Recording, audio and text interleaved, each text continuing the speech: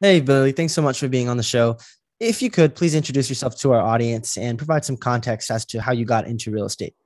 Yeah, sure, Kerwin. I'll definitely do that. But you know, one of the things, if you don't mind, I just really quickly, I would like to ask of your audience because I know that you do this with a lot of love and you do this with a lot of uh, passion to continue to educate. And, and, for everybody, if you have not had a chance to already, if you could just leave an honest written review as well as a rating, I know that continues to help bring other guests that are going to add you more value. And uh, I think that is one of the things if that would definitely add a lot of value to you as a listener and as a viewer. Um, and, and with that, just kind of as a background, Kerwin, I'm, I'm a guy who today is had a lot of life experience, but originally from uh, Columbus, Ohio, very working class family. Both of my parents worked two jobs. Um, I watched my parents struggle a lot when I was growing up. They had to make really difficult decisions by the end of the month, like did they pay bill A or, or bill B? Uh, so I know what it's like to grow up in a family, well, where finances are not something that, n- number one, you don't talk about, and number two, when you do talk about it, it's usually something that's not very good. Um, by the time I was 12, like I was born in Ohio, but we'd moved to Colorado. We moved to Texas. My brother and sister were born in Colorado. Uh, I'd probably lived, just to give you an idea, in like probably eight or nine different houses. And also, too, that I think a lot of that had to do with basically the, the at the end of the lease, we kind of had to find a new place to go. Um, my parents had some marital problems, uh, eventually divorced, and my dad moved to the East Coast. My mom uh, stayed in Ohio. One of the things that happened with my parents because they didn't have a quote unquote formal education they really put a lot of emphasis for me and my brother and sister to get out and, and get our degrees. And so um, i am someone who was a very good student. I consider myself an a student uh, in, in high school in college uh, and i always did what i was told. And because you did what you were supposed to do you studied you got a good grade on the test and i continued to do that for most of my life Today, I consider myself someone who's a recovering perfectionist uh, because, well, you know, when you go from theory to, to practice, you realize that things don't actually work exactly the same. Uh, even when one of the biggest rejections in my life, I right out of college, I had I have two degrees, but uh, I had a dream job that I wanted to work, and I was rejected by my dream company twice out of college, and I didn't really know how to handle that.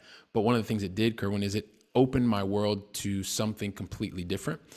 Um, told you about the background where I come from, and I had my eyes set on this really important job at Procter and Gamble, and got rejected once, twice. But I started working right after college. Once I got rejected twice in two degrees, uh, for a company that actually sent me around the world, and I was working and traveling throughout some 58 different countries. It was absolutely amazing, and so I didn't see myself going to a normal nine to five job and I ended up moving uh, because I wanted to take a one year sabbatical. I moved to Paris, France. I was accepted at a university there, so I got a chance to continue my education, which was really cool. Uh, I wanted to learn how to salsa dance and I wanted to learn more about wine. And I was supposed to go back to the US one year later, but as luck would have it, uh, I have since stayed in Europe. Um, I got into the IT industry. Uh, I went from Paris down to a town in Montpellier. I ended up meeting a really cool, uh, cute Spanish woman. Uh, right before I was sent to Italy, I started a sales team there. I was still in the IT space. Ended up going back to France. The the young lady that I met, she and I continued to stay in touch. We had a long distance relationship, and eventually I moved to Spain and a couple years later, we got married. A couple years after that, uh, our first son was born. Our second son was born about a year and a half later. And so um, I always kind of joke with people, Kerwin. I tell tell them, you know, no matter where you come from, uh, no matter what you've done, be really, really careful because if you ever have the chance to take a one year sabbatical, it can turn into 21 years, three countries, learning four additional languages, a marriage, and two children. So um, that's a little bit about my story. I, yeah. Up until recently, I was working in the multinational. I did that for 26 years. And uh, today I still call Spain my home, uh, where I live. I live here in Barcelona, Spain. And um, and yeah, I've just I've been very fortunate, seen a lot, and come from very very humble uh, humble background.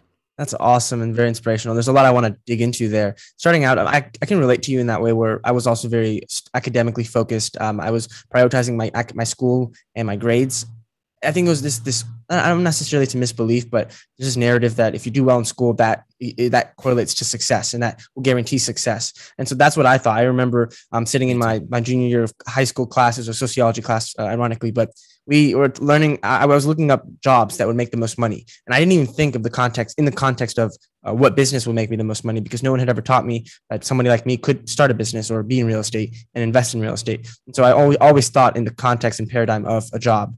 Um, and and I also you touched on the the role saving and how you probably didn't even think about investing. I've heard you talk about how that was kind of like your version of investing was saving your money, and that, that's kind of is a reflection of the, your background and your kind of your, your, the environment you were growing up in. So can you just touch on saving and how that why that's not necessarily the best way to create wealth? yeah, um, and it's it's really challenging, Kerwin. I mean, you hit on something that is really important because the way that I grew up, when I watch my parents struggle, and and even family members, and and most of the people that I was surrounded with, if you had money at the end of the month, like that was a big deal. That was considered investing because you made it to the end of the month with extra money in your pocket. And so I grew up thinking that number one, we didn't really talk about investing, but my assumption was that was investing because you made it to the end of the month and you had extra money. And so when I went away and I was in college, or and then I finished college because I worked through college, I had like sixty thousand dollars worth of debt, and this was back in the this is back in the mid '90s, right? So there was a lot of debt that I had for my five years of college, um, and so I knew what that responsibility was like.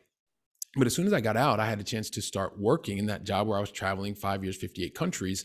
And I started having money left over. And so then I learned the difference between saving money and investing money because I had that conversation with the HR person and then I started putting my money in my 401k and my IRA and then I realized the difference between savings and investing. And the thing of it was is the savings made me feel really really good because I didn't come from a background where we, they saved money. And so I started feeling really really good. But what happened was I when I was investing the investing, I had no control. So the dot com bubble happened in 2000 and I lost my the things that I was investing and I was freaking out because I had no control over that. And then when I started investing, and then they told me, hey, there's this thing called DCA, DCA. And, and when I said DCA, well, what is that? And it's dollar cost averaging, right? It's kind of like you mm-hmm. put the same amount of money every two weeks and eventually it would come back. And then the same thing happened to me again in 2008, where I lost 33% of the value of my portfolio. And so that for me was realizing the difference between savings and investing. And then eh, one I had a little bit of control over, almost none when I was investing because I was investing in the stock market in a secondary market. And I later understood what that meant. And then saving, but even though I was keeping money in the bank, I was saving. What I didn't realize, Kerwin, and this is one of the things that I know you really focus a lot on helping to educate your audiences even though I was saving, I was just keeping there, keeping money there because it made me feel good because I didn't grow up that way. But what I didn't realize was that the money was slowly eroding in front of my eyes because the, the amount of money that they were actually giving me to keep my money in the bank was below what inflation was. And it's continued to be below what inflation is. And so as you continue to realize that keeping money in the bank is probably very similar for the way that I grew up because a lot of people still continue to do that. But it's not the most efficient way for you to continue to grow your money and provide freedom uh, of financial freedom or freedom to do the things that you want to do when you want to do it. So hopefully that answers yeah. uh, your question. No, absolutely did. And you, you mentioned the impact uh, of the crashes that you were you lived through essentially um, that that had on your portfolio. I would love it if you could, because I've heard you refer to stock investing, at least in your case, uh, sort of gambling, like gambling. Mm-hmm. Uh, could you explain how that was different from how you approaching investing just just in, in real estate? Yeah, sure. So when you so when you have this opportunity to place your money somewhere, but you don't really know what the outcome is, that's to me it's like when i go to las vegas like i would i when i was in the states i would go to las vegas with friends of mine and you, you go there and you're on the table your blackjack table and you don't know what the next card is going to be. You have probabilities but that's because people that are there and counting every single day mm-hmm. watching the table. But if you're working a job and you're really busy and you have all of these other things because that's you know i work really hard and i've continued to work really hard that's what i saw my parents do I didn't have time to pay attention to what was happening in the market. Probably like, and I'm going to uh, make an assumption here, like 80% of the people that are invested in the stock market, whether it's through 401k and IRA. So because I wasn't paying attention to it, I didn't actually really understand what was happening. So it was just the exact same thing. Putting my money in that DCA, that dollar cost averaging every couple of weeks, was just like flying to Vegas and putting a couple of hundred bucks or five bucks or 10 bucks or whatever you feel comfortable with betting on the blackjack table. There was no mm-hmm. difference because I wasn't aware of the outcome. The difference came, and and one of the things that happened to me was, and I, have been I've, I've, shared this story because I used to be really really ashamed of it, um, and you know if I could go back and tell my younger self uh, something, one of the things that I recognized was when I was traveling in this corporate game and really looking to move up the ladder, I was missing out on a lot of time with with my with my family. I had young children, and eventually uh, you know, my uh, my third, my oldest son on his third birthday, I was actually traveling to Frankfurt from Barcelona, and I missed his third birthday. It's one of those things that it's I can never get it back. Um, but what it did is it took a lot of the theoretical things that I had read in like Rich Dad Poor Dad, and a lot of the podcasts I was listening to and videos, and it forced me to move from theory to action. Mm-hmm. And so when I moved to action, one of the things that I really enjoyed about real estate and what I understood about it, and to, to answer your question at, at this point, is really looking at real estate was something that was a matter of saying, okay, there's revenue which comes from the rent initially, and you know, depending on what type of asset you ride, but let's keep it very simple to like a, a single family house you're bringing your money in and the rent is paid that's the revenue. And then you had another line below that which is or a number of lines which are the operating expenses. So there were things that you had to pay like your insurance like your taxes your maintenance and repairs uh, a lot of different service fees things like that.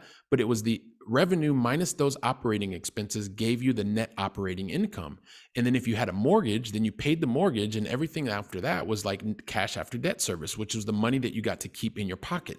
So, from a model perspective, it was really simple. And most importantly, I could control that because I, based on the market that or the location I was living in, I knew what the rents would be. If I could make sure that the, the expenses, the operating expenses were controlled, then I pretty much knew what my net operating income was going to be on that single family house. And then from there, I paid my mortgage. So to me, the speculation it was one thing, and I had no control. But then when I started looking at an asset like a like a single family house, it was something that I understood. The model made sense, and I was in much more in control of it, which is what gave me the sense and the feeling of, hey, listen, I want to continue to do this because I can control it. Mm-hmm. Hopefully that makes sense. Absolutely, it does. And I agree. I mean, we have invested in crypto in the past and did not go well because, in a way, that was gambling. We didn't understand it. And that's why, you know, real estate's our bread and butter and we focus on it and we've taken the time to really educate ourselves in it. And so, I mean, I, I just completely agree with what you said. And I know at the beginning of your real estate journey, you started out by investing in Barcelona, or at least attempting to. Um, I would love to know, just just because I'm curious, honestly, why didn't that, why did it not work out in that area? And then how did you kind of um, what did you do after that? Yeah, love love your research, man. And you're making me think of when you and your brothers were on the Going Long podcast in episode 161. I was like, man, you're doing your research. I love that, man. I love that. So, and to your point, so when I read the books, the thing that I was understanding, Kerwin, is I understood the model. So it all started making sense to me, but I was not sophisticated enough to understand the difference between the types of locations. What do I mean by that? Well, I read the books, and when I read through the books, all of the books made me feel like hey, by the end of the by the end of this, you should have like two hundred dollars a door, three hundred dollars a door. It's going to be great. It's going to be fantastic. You can control it, right? And so when I started applying that same logic to where I lived here in Barcelona, went out and started looking at the models and understanding the differences between one country to another and uh, one city to the other and i and things kept penciling out when i was underwriting them meaning that i was looking at the revenue minus the expenses minus mm-hmm. the um, debt service and things kept coming out negative. It was like negative 50 euros, negative 100 euros, negative 75 euros, and I couldn't understand it because I was like, "Hang on a second, these these but these are supposed to be two or three hundred dollars a door." Well, it was because I was in a location that is not based on cash flow. It is one that is very much appreciation based. And so when you look at purchasing the value of the property, or you look at purchasing the, the property and the value is created through appreciation and times. And so the fact that I couldn't get cash flow and I knew that I wanted to get cash flow. And I have a couple friends here in Spain that I really, really appreciate. And they were like, man, you're American. Why don't you buy back in the United States? And so that once I got over the fact that like it was 8,000 kilometers or whatever, uh, 6,500 miles away from the closest coast, that's when I started taking action to invest long distance from Barcelona back to the US because that's what being in those those locations were what gave me the probability of getting cash flow which is what I was really looking for. So I did try at Barcelona, didn't work, didn't pencil out. I also didn't have enough education and I didn't have enough network either because there are people that are here that make cash flow, but mm-hmm. now that I've built my systems to to work back in the US, then that's what we'll continue to do. That's awesome. It's very inspirational to see you starting out. I mean, you said, like you said, you didn't really have much education, but you were able to break into the U.S. market um, and, and, from another country. And so I think that's kind of a testament that it's possible for hard, you know, anyone, especially if you're here and you can invest in your backyard or in a market that you can drive to, like we do. Um, so I would love to know what were some of the first steps you took when you wanted to first break into the U.S. real estate market, and what are some uh, insights or takeaways that somebody can learn from the steps you take or maybe you took, or maybe the mistakes you made. Yeah, sure. Well, I, made a lot of mistakes, and I don't think we have enough time for me to, to, talk, to talk about all the mistakes I made. But, but what I would say is when, like, I love when people have these really master plans and they've kind of thrown all this stuff together and it's, you know, they've thought about it and they executed these master plans. If I just have to tell you what happened to me, Kerwin, I got to a point where I was so frustrated with the stock market and I needed control, right? I told you about it before. And so what I knew is I had money in the bank, right? Because for me, that that gave me a feeling of safety, of security, uh, and so I probably kept more money in the bank than I needed to. And what that meant was when it was time to take action, like the only thing I thought about is I have this money to put into the down payment for a property, and so I didn't have a, a, enough education. I did not have the network at the time. And so what I asked was once I decided to go to the US to, to do the investing is help me understand. Like, I know that I need to get a, a, mortgage because I didn't have enough money to pay for the entire property because I didn't want to buy like a $5,000 property or something like that. And so I was introduced to a number of bankers. I ended up finding one banker that worked at a retail bank. We had a great relationship. Um, she helped introduce me to people. And that was where I knew I was going to be able to secure the funding, right? Because I had to take of consideration, even though I'm a US citizen, I was living overseas, et cetera, et cetera. So started the first relationship with the banker. The banker then introduced me to someone who was a general contractor. The general contractor who knew the location introduced me to someone who was a broker. The broker introduced me a, a, a real estate broker who introduced me to a real estate agent. So that's really how I started um, getting started. I had money, and then that was the quasi team that I put together just to help me make the first purchase. So again, I guess the lesson there is when it's when you're ready to get started, everybody starts at different places. I mean, maybe people need to start with a no money down, and you have a lot of extra time. I was working in a very busy corporate job, so what I did not have was time. I had capital. Sometimes you don't have um, you don't have uh, capital, but you have time. And so it's a matter of what do you use to, to be able to, to secure the outcome that you're looking for. So that was the way that I got started. Mm-hmm. I mean, there wasn't a lot more than that. The only kind of criteria, Kerwin, that I put into place was if something goes wrong, do I have people that I can, that can get there to really bail me out? Like I was thinking, if the house catches on fire or if something happens, can someone get there? And that was my selection criteria. So a couple things there what I would say is the way that I got started is not the way that I teach people now to get started, right? Because you make mm. your mistakes and I didn't have a network. And so you really want to think about where is, first and foremost, like what is the I think the most important thing is what, what is the benefit that you're looking for? Like, are you looking for uh, the ability to, to create more cash flow, like I was at the time? Are you someone who is earning more money and you're looking for some type of tax benefits? Do you just want experience? I mean, whatever the benefit is, then start there.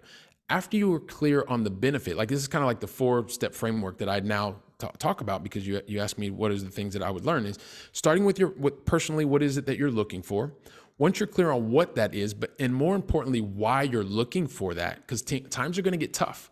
Mm-hmm. And when times get tough, if you're not clenching onto your why, you're just going to let everything go away. But everything starts there. Once you're clear on personally what it is that you want, why you want it, then the second step is really going to the location that's going to give you the best probability of achieving whatever that goal is, right? And whatever that location is, Eh, that's going to really dictate the next two steps is get to your location and i'm sure i'm telling you things that you already know and that you practice a lot already is start to build your team once you build your team and whether that's from a, an insurance broker a real estate broker a, an attorney uh, a cpa in the area what whoever the people are on your team get the team built out because then after that it doesn't matter if you're buying uh, a small multifamily building, if you are buying a, a, a, a sm- sorry, small single family, a multifamily building, a piece of energy equipment, none of that matters because your team is already in place. They know the location and it's all tied into what it is you're, you're looking for and why you're doing it. I didn't, I did it just the opposite, right? Mm. And so that's why um, I share my experience initially, where I got started, and more importantly, doing it just the opposite in terms of now that you're listening, you're watching uh, Kerwin and I, that's the way that, that I would start it and mm-hmm. give you things to, to think about.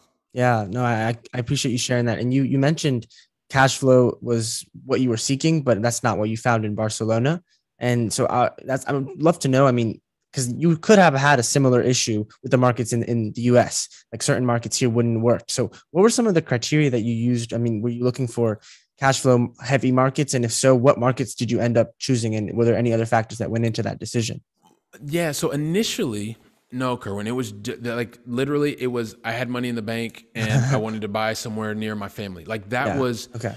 And, and I guess the reason that I share that is sometimes we try to look for perfection. Mm-hmm. And if we don't find perfection, we don't take action. And so the thing is, sometimes you don't need a master plan to get started. You just need a reason to take action the thing that made me take action was I missed my son's third birthday, and I didn't want to leave, leave my whole financial life um, really at the realms of the the Wall Street casino. I didn't want to do that. I didn't have a clear plan, but I knew that I was going to buy in, a, in an area that was close to family.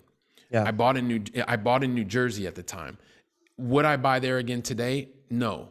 Um, but I got started there. And, mm and through the trials and tribulations that I realized, that's why now I tell people what, you know, or, or share with people or teach people that figure out what it is that you want. And so if you're looking for a cash flow market, for instance, then you start to look up the locations that give you the highest probability of cash flow. Like later, many years later, once I had a lot of small family, smaller multifamily, I had a mobile home park in my in my portfolio then I started realizing, hang on a second, I live in Spain. I've got a lot of money coming in. I can't keep up with these things, but now I need a structure. Now I need a format. And that's when I went out, I got a paid mentor, and I started mm-hmm. learning, okay, what are the things that I should be doing? And that's when it came to the idea of, okay, get clear on what you're looking for. So, because I'm looking for cash flow, then I went into this big study of different locations in the United States that were more predominantly cash flow markets. They didn't have the big fluctuations in terms of the overall value, but they were pretty much consistently known. And I looked out in the Southwest, I looked in the Southeast, I looked mm-hmm. in uh, in the Midwest where I'm from, right? And I remember going through this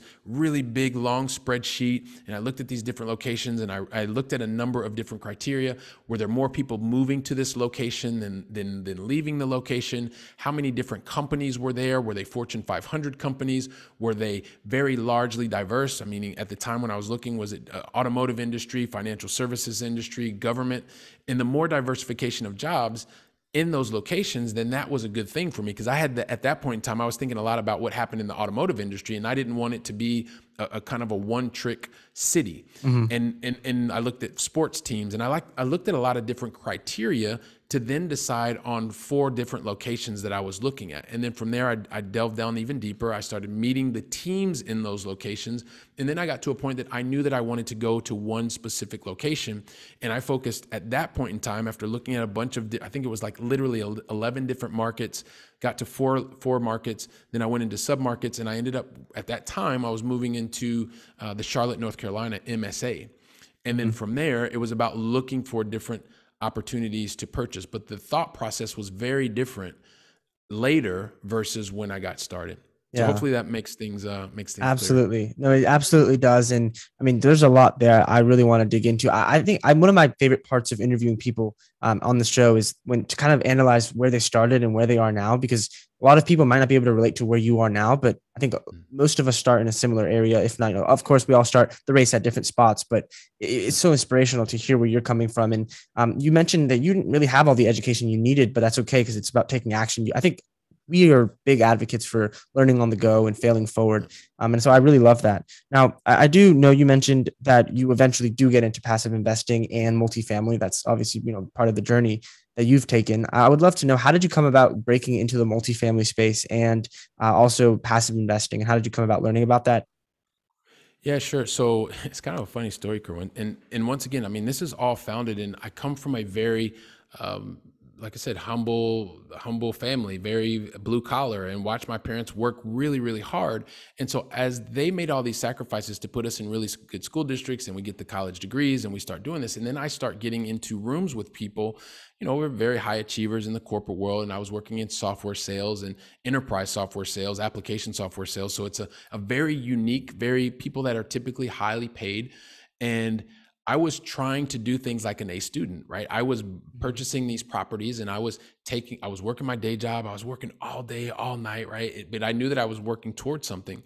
And as I started to build up my portfolio with these smaller multifamilies, and then I bought the mobile home park and things were happening, I then heard about something called passive investing, right? And what I didn't even understand, and and I know you all talk about this, but I didn't understand that as someone who is is known as an accredited investor, which means you you meet a certain income criteria or a certain uh, net worth criteria, or nowadays there's even um, educational criteria. I've I found that I was in this particular group of people, so I had access to very unique type of investment opportunities, and so then I started realizing that I didn't have to trade more of my time to manage the properties. So then I started finding and meeting other people like you and your brothers, and uh, that were that were bringing people together to purchase larger pieces of uh, of larger assets that you wouldn't be able to purchase on your own. And so as I started to meet people like you and your brothers, and I'd learn more about them and what are you doing, and they would tell me how this particular type of opportunity would be able to benefit me and get me closer to my life goals. I started investing in other things like um, like ATM machines and mm-hmm. other larger multifamily. Um, you know, I've invested in a couple of larger multifamily, 200 plus unit uh, type of opportunities. I've also invested in development opportunities, and I had a very unique kind of problem, and this is where passive investing also helped me, was I was someone who was a high wage earner. And although I love real estate and still love real estate, at the time, I was not someone who was known as a real estate professional. So I was paying a lot in I was buying a lot of real estate and investing with other people in real estate. And I was still paying like 40 plus percent in taxes because of my W 2 income. And so then I started looking for a way to solve that W 2 income problem. And even through passive investing, found a way to do that um, through pieces of equipment mm-hmm. in the energy sector. And then even started to help other people who are high wage earners do the exact same thing. So I didn't know about it in the beginning. And a lot of times, it, it I mean, in, in Kerwin, I'm not telling you anything you don't already know. Unless you have access to certain types of information or certain types of circles, you don't know. I mean, I speak to people all the time today that are accredited investors that meet those criteria that I was mentioning to you before, mm-hmm. and they didn't, they don't even know that they're accredited investors, that they have access to passive investments where they don't have to trade their time for money. They do need to trade their time to meet and sit down with people like you and your brothers to understand more about what what you're doing, how you can potentially help them, and then from there they can make the investments passively that are going to help them get to their goals and to their dreams, which is exactly what I'm doing today. So yeah, hopefully that also hopefully that also answers the question. No, it absolutely did. It absolutely did. And earlier you mentioned how you really like having control, and I think there's a lot of people that can relate to that investing in real estate. And I, I, think it's fascinating because as a passive investor, you don't have any control, but as an active investor, I mean, you pretty much have all the control. So I'd love to know what is it, some advice you have for somebody who also can relate to that, that wants control. But let's say, I guess my question is twofold. First, would you recommend that they be an active investor? Or if you maybe, if, if passive investing is like more appropriate for them, what are some factors as a passive investor that they can control? Yeah, I think that there's the, the most important thing is and this is so also too when and i'm thinking about when i first got started and you don't necessarily i guess everybody understands themselves like if you're someone who is really literally high control that you mm-hmm. need to control everything then if you know that about yourself maybe any type of investing is going to be difficult for you right because yeah. because you just like so much control any investment doesn't work but if you're somebody who says hey listen i've only been doing this because it was easy i.e., I've been investing my DCA, my dollar cost averaging, because that's what everybody says and that's what everybody else around me is doing. But in your stomach, you're kind of thinking, you know what? I don't like the swings of the Wall Street casino that things are going up, things are going down. I literally have no control. My money is across 18 different companies or 80 different companies. When I ask my financial advisor, they're not even able to tell me. They just tell me, don't worry, just hang on, just hold on. Well, there you know that you absolutely have pretty much zero control, right? Mm-hmm. Um, and that's one thing. The other thing is, are you willing to invest the time to sit down with Kerwin to understand the business plan to fly to whatever city if that's what you need to do? Because it's typically going to be one or two different projects that you're looking at. And when you make that investment of your time, are you meeting the people that are actually going to be managing the asset? Do they inspire you? Do they instill confidence in you that they know what they're doing so that when you make the wire transfer that you don't have that you don't have like um, an out of body experience thinking oh my gosh i don't even know what's happening. So i think although you don't have the ultimate control as someone who is investing with others and the technically that term is the limited partner yeah. you do have a very different way of actually going through due diligence because you can sit down with Kerwin. You can I, I can look you in the eye and you can tell me, or we can get on a Zoom, or um, if if you want to introduce me to somebody who's actually going to be managing the asset on a day to day basis, I can meet that person. I can speak to that person. It has like for me, it's a completely different world than just doing the dollar cost averaging and sending your money to somebody who doesn't know your name. They're in an 800 number and it's across 80 different assets. So to me, there's control lack of control and absolutely no control mm-hmm. and there are things for me when you are investing as a as someone who is a limited partner in a in a real estate syndication that yes you don't have ultimate control but you can actually go out and meet the team you can meet the jockey sort of speak as as we like to talk about and that then will allow you to understand is this the right team that I want to invest more time and more capital with so mm-hmm. so hopefully that gives a different perspective in terms of control and some of the things that you may want to think about. Uh, but ultimately, if you're somebody who absolutely needs to control everything, well, maybe in, investing with others probably is not the right thing for you anyway. yeah, no, that's great. Great insights. I appreciate that. And you've emphasized the importance of the team, and uh, we're always been something that we've been just continue to hear and we understand the importance of, of the, role the team will play. They're the biggest risk factor when it comes to the success of a multifamily or real estate property in general. So I'd love to know how are you, and you've, you've coined them as a world class teams, is the teams that you work with. I would love to know how are you finding these world class teams and, and maybe just give some insight into how you're vetting them. Sure. And a lot of this is so a lot of this is um, related to just things that I've done for 26 years when I was in the corporate world, right? There, and, and also having worked and traveled to 86 countries, you start to learn how to meet people, understand not just the individual, but the things that they're saying, the things that they're not saying. And when you when you meet anyone that's world class, it has to start with an introduction. So whether that person has allowed that person or that company has allowed you to meet them or you've been introduced to them from a referral, which is one of the best ways to do that. It's about being able to not only understand or see if they if their value system aligns with yours and i don't mean what you see on the website right? Because what you see on the website is a lot of marketing. But anytime you're going to invest in a relationship especially a long-term relationship it's really important to get a couple things right. It's like any relation i mean i've, I've got a brother and sister I'm married i've got lots of friends that i've had for many many years and it's about being able to communicate clearly. First of all, okay, well, what are you interested in doing? How do you go about doing this as a company? Right, just to, from a mm-hmm. values perspective, a mission perspective.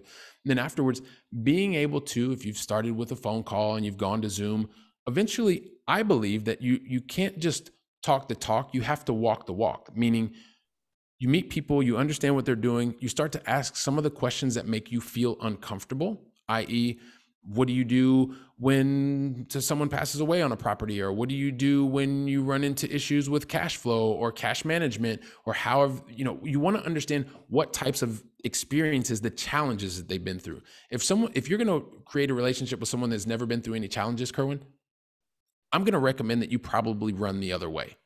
Because it's highly unlikely that someone who's world class has not been through any type of a challenge. Mm-hmm. And so that person needs to tell you, that person, that organization, they need to tell you about what those challenges were, what they did to recognize the challenges, and most importantly, what did they do to to make it right or make it as close to right as possible. Listening to that, always understanding if it aligns with you, your value system, and the mission that your your company is on.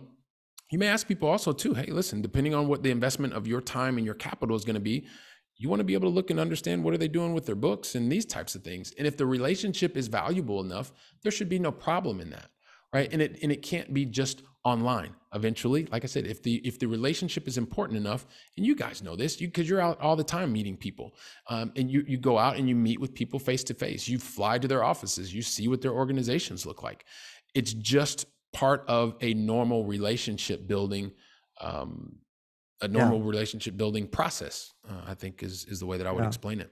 Absolutely. I mean, I think people forget that we're all just humans, and it's you know just getting to know someone and learning to build trust with them. Um, that's so important. So I appreciate you sharing that. And now it is time for our speed round. Are, are you ready? I'm ready, man. Let's go. awesome. All right. It's just easy five questions, but um, take as long as you want. But you know, we're gonna go ahead and just back to back. So let's get started. Right. So yep. the first one, what has been the biggest failure that you've encountered or learning lesson that you've encountered along your real estate journey, and what did you take away from that experience? So from a real estate perspective, the biggest fail, I mean, you could talk about the money losses and things like that, but one of the things that when you're a, re- a recovering perfectionist, you try to do everything on your own. And what I've realized is the things that I was trying to do on my own, which was completely the opposite of the why I excelled in the corporate world, it stifled the growth. I mean, we didn't grow as as quickly, and we're able to get to the to the uh, people that we want to serve. So trying to do too much myself in the beginning, uh, because I was working a day job, I wanted to try and control things, rather than making sure that I was looking for the right who's rather than how to actually get every single thing done. That was that was one of the things that I would say is a was something that I wasn't aware of because I was just in the weeds. Once I became really aware of it, then I was able to put the corrective actions in place mm-hmm. to continue to now um, help and and serve the, the the the people that we are that my company is built to serve. That's awesome. And, and looking forward, what are you aiming to accomplish in the in the long term, and what's the goal for your business uh, in the future? Yeah, we want to make a positive contribution to the world. The goal is really to get out and help more uh, accredited investors, as I mentioned to you before. Mm-hmm. Um, specifically, uh, what we'd like to be, what we're what we're aiming to do, and what we're working and building the business to do is specifically uh, to to be able to go out to serve 200 accredited investors, be able to help bring them the value that they're looking for, and be able to do that in a way which is also creating community, creating family. It's awesome. And a lot of it, sorry, and a lot of that, Kerwin, is really around financial intelligence. Uh, and I know sometimes it's, it's said over and over, but I, I'm surprised the number of doctors, lawyers, uh, high paid professionals that I speak to that number one, they don't even know what accredited investors are. And then number two, they don't really understand the different characterization of, of money. And I didn't know that for a really, really long time. And if you don't know how money is characterized by the IRS uh, or wherever you live, uh, it's really difficult for you to understand which vehicles are going to get you to the destination of your life mm-hmm. as efficiently as possible. So I'm really, really passionate about that right now. I love that. And I think this next question will tie into that. And you also mentioned the importance of knowing this, but what is your why? Well, for right now, my why is to continue to spread uh, financial education to specifically right now the accredited investors. Also, for me, the real why, like the way I, the reason I wake up every morning is because I have two young children and I want to set the example for them. I work on being the best version of myself every single day because when you have a 10 and a 12 year old, they're looking to me every single day for direction. And my goal is to be the best father and the best uh, and the best husband uh, that I can be. But I'm passionate about helping people mm-hmm. to gain financial education. Yeah, I love that. Uh, you shared a ton of awesome knowledge today. I really appreciate it. If anyone in our so, sorry, if there was one piece of advice that you would want someone in our audience to walk away with, or one piece of wisdom, what would that be? Don't overthink things, right? I heard this great thing by, by General Colin Powell, and it was the 40 70 principle. And he said, look, if you, he never made any mi- really major decisions with less than 40% of the information, and he didn't have more than 70% of the information. One of the things that can happen for people that are like me, who are recovering perfectionists, A students, is we try to look for the optimal answer and we try to get everything done it, you have to get to a point where you are comfortable with taking action on imperfect information and feeling okay with that, getting the feedback and being able to course correct. Uh, if there's one thing that I would say, it's take my example of me as a very young investor and just not trying to get every single green light red or sorry uh, gr- green light before I left the house. It was just to have enough information to get started and then course correct from there. That's awesome. I appreciate that. If anyone in our audience wants to learn more about you or, or access to any of your resources, your podcast, or just follow you in, on your journey, where can they go to do that? Yeah, sure. I would tell everybody first of all, go like once again, go to the Going Long podcast podcast, episode 161. You and your brothers was awesome. You guys actually rocked it. Uh, for those people that are interested in understanding more, if you're an accredited investor, especially those people that are getting crushed by W 2 taxes, um, you can go to our website, which is firstgencp.com forward slash invest. And you can find out more about that, find out more about what we're doing. Obviously, the website is firstgencp.com. And also, uh, if you want, I love being on LinkedIn. I love connecting with people there. I think I'm the only Billy Keels in Barcelona, Spain. So it should be pretty easy to connect with me. Uh, and once again, like I said, if you're a W 2 earner who's getting crushed by, uh, by wages, feel free to go to firstgencp.com forward slash invest. Awesome. Thank you so much for your time, Billy. It was a pleasure chatting with you. Thanks so much, Kerwin. Absolutely.